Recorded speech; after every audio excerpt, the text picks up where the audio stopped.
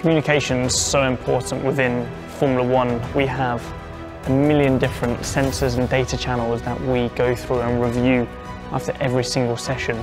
We need all of the engineers working at their very, very best. You need your drivers performing at their very best, and that is when you can achieve these exceptional results and you go into that flow where things almost come so easily because you're working so well as one and I think that's also the, the beauty of this sport.